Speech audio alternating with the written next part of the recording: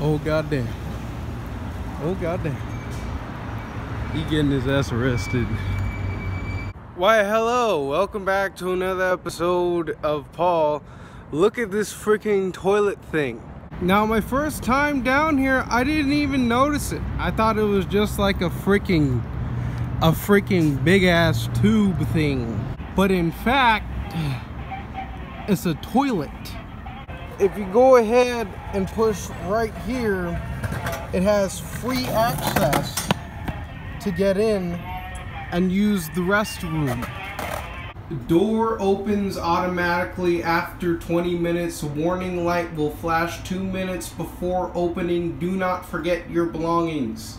Oh, so you just go ahead, go on there and you click that button to go ahead and lock the door. Then you got some really sturdy hooks on up over here. You put all kinds of luggage and all kinds of bullshit on up over that way. Then you can come on up over here to the automatic sink, insert hand to start to soap the water to dry the no drinking of the water. Emergency 911 press twice. Push to exit. Emergency opening. What'd you say? You in there playing? I gotta use the bathroom. You Oh. About emergency 911. No, I was just I was just making a video of this thing. Oh. That these were supposed to be like everywhere, but now they're not. Yeah, because motherfuckers be breaking them. It's breaking. Yeah. For real?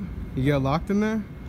Huh? You get locked in there? Nah, they be, be breaking them. You fucking up. Oh, I see what you're saying, bro.